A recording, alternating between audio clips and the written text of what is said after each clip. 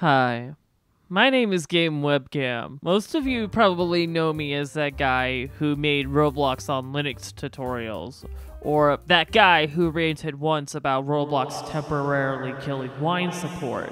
BitDancer, one of the Roblox admins who was a huge proponent in getting Roblox working on Linux through Wine, had announced that Wine would be intentionally blocked on the Roblox client. First and foremost, I do want to thank him and the other Roblox staff who have put their foot forward trying to ensure compatibility between Roblox and Linux because if it weren't for their hard work, then Roblox on Linux wouldn't have lasted for as long as it did. When Roblox temporarily started working on Linux again after my last video, the first sign that got me wondering if it'll happen again was when Roblox pushed an update later that year that broke the client under Vanilla Wine.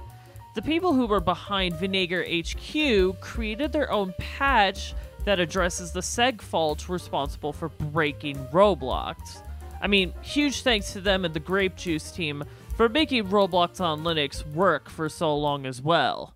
But this patch did change some deep low-level code in Wine. It was fickle and any update to Wine had a chance of rendering the patch useless. I focused my tutorials on compiling your own wine so that wine took the best advantages of people's hardware in patches to get the most performance. The tutorial was already comprehensive and complicated enough, but if it stops working after a couple weeks because the patch decides to break, then it would just straight up be a bad tutorial. The people behind these Roblox compatibility programs have always offered pre-built wines eh, with the necessary patches for this very reason. But I only wanted that to be a last resort if the situation didn't seem to improve. I was hesitant, and that's why I decided to play the waiting game. And my predictions, unfortunately, became a reality.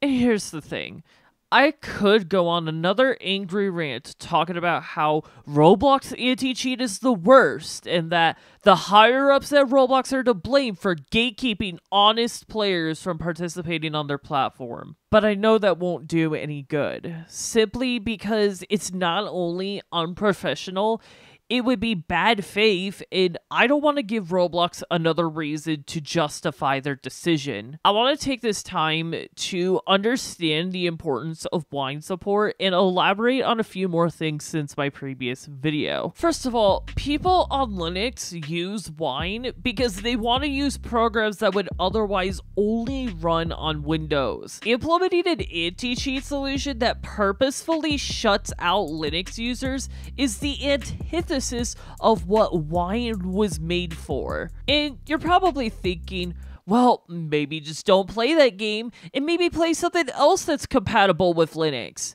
This is the kind of mentality that is going to make people not use Linux or lose any interest in trying. If you want people to try out and use Linux, you need to accommodate their needs, which in the case of gamers includes supporting the games they love playing. I've mentioned this before. The root problem, though, is fairly economical and political. Big corporations aren't going to be so prone to taking risks unless they see enough reasoning to make a calculated decision. This includes adding Linux support if you are a game developer or an executive behind a large game studio. But how do we get there if most users aren't willing to try out Linux because their favorite games aren't supported? You start to see how this quickly becomes a catch-22. Wine was, is, and will be the intermediate solution meant to solve this problem. It's sad because with the general quote-unquote Roblox outrage mob, they were more upset about mobile operating systems that were released almost 10 years ago or almost 7 years ago, losing support. These are operating systems that only run on devices that have long since lost support from their manufacturers. It's only fair that Roblox stops supporting those systems to take advantage of features that hardware simply cannot run. But cutting wine support affects an active and growing user base with actively supported software and hardware. Since Roblox is a platform that majorly consists of a younger audience, cutting Linux support stops younger users from learning and embracing new technology. I mean, I got interested in programming when I was 11 years old, and that all started because of Roblox Studio and the use of the Lua programming language. And if there's anything that big tech companies have learned from the past few decades, if they wanted to get their software and hardware out into the mainstream, well, you gotta introduce them when they are young. With my last video, I mentioned that most general anti-cheat solutions do in fact support Proton or Wine and make it easier for developers to enable. But I never stopped to think about why this support should be something that game developers have to opt in, rather than be something that developers have to opt out of. If anti-cheats like easy anti-cheats in BattlEye are capable of supporting Proton, then why not have this be the default behavior? What I liked about Roblox and Byfron is that they did actually try to support wine and explicitly decided to opt out of it. Why is this not the norm in the gaming industry? With the current opt-in system, you can make the argument that a lot of anti-cheat enabled games don't support Linux because the developers don't see it as a priority. But if you make developers have to opt out, it informs us that this was a conscious decision and it opens up the floodgates for more transparent communication in understanding any shortcomings of Wine or Proton.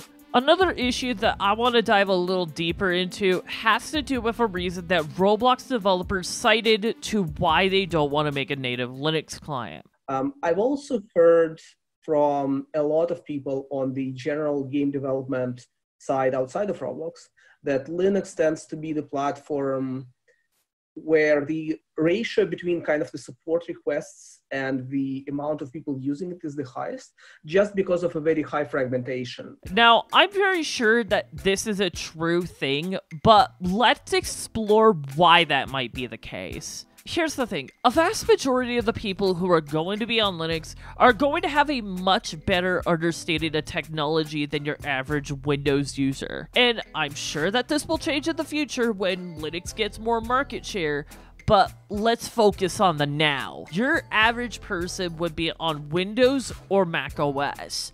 And here's the thing, most of them do not care about how their machine or any of their software works. They just want to use their machines to get their work done or just sit down to have some entertainment. And it's because of this mindset that whenever they start to run into problems, they're not even going to bother figuring out what's wrong or try to fix it unless they're told how. And here's the thing, if it does happen to be a recurring issue, then they'll just mercilessly search on Google in the hopes of finding an answer.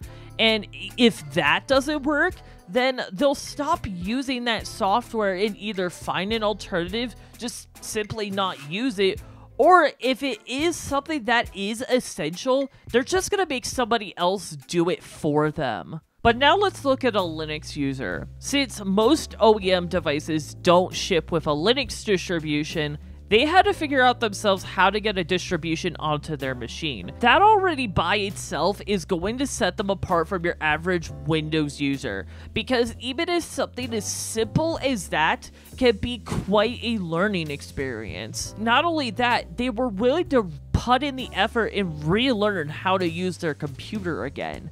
And yes, there are distributions that make this process a heck of a lot simpler, but they still need to put some commitment into learning how to use their system. The most important detail to focus on is how desktop Linux and open source culture interconnect with each other. It is a part of Linux etiquette to embrace and use free and open source software, as Linux in of itself is free and open source. When you get to deal with open source software, you get to see the source code and even contribute to it.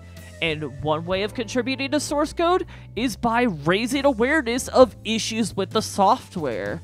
And considering that the developing experience on Linux is first class compared to other operating systems, it's no surprise that you're going to have a lot of people who will know how to report those issues when something isn't working. And that includes the necessary information to reproduce those issues and probably try and make it easier for developers to fix them. The Linux community is very insistent on getting people to try out the operating system is seeing if it can replace Windows for their needs. It's a meme and it can be annoying at times.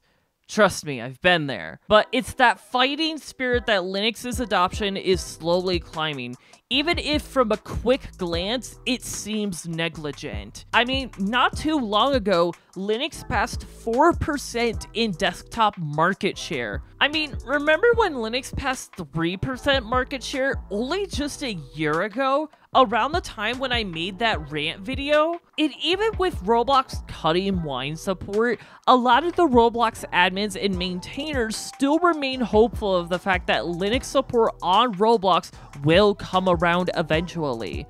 And so do I. I honestly hope that in the near future, Roblox will come back to Linux in some way whether it's reintroducing wine support or the near improbable chance of getting a native client, Roblox is a platform that would certainly function as a gateway for many into Linux gaming, especially younger minds empowered by learning technology. I don't play Roblox as much as I used to, but I still enjoy playing on the platform every now and then, and having to reboot into Windows every time just to play a little bit of Roblox is a smear on what would otherwise be a fun gaming experience. And here's the thing. I only see dual booting as a temporary fix, not a permanent solution especially with the direction that Windows seems to be slowly heading towards, I wouldn't want to keep up the charade of switching operating systems because a software manufacturer abstains on making their software compatible with Linux. When that day comes, I certainly will not be continuing Windows. And I am confident I won't be the only one who will come to that same realization.